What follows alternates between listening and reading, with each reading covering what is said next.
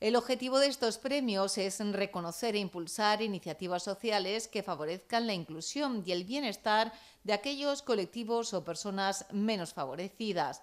La dotación económica de los premios en el campo de Gibraltar es de hasta 75.000 euros, con una financiación máxima a cada una de las tres iniciativas ganadoras de 25.000.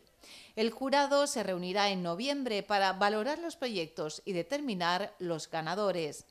La responsable de la Fundación CEPSA en el campo de Gibraltar, Estrella Blanco, ha deseado mucha suerte a los participantes en esta edición para que puedan hacer realidad sus proyectos sociales y sostenibles.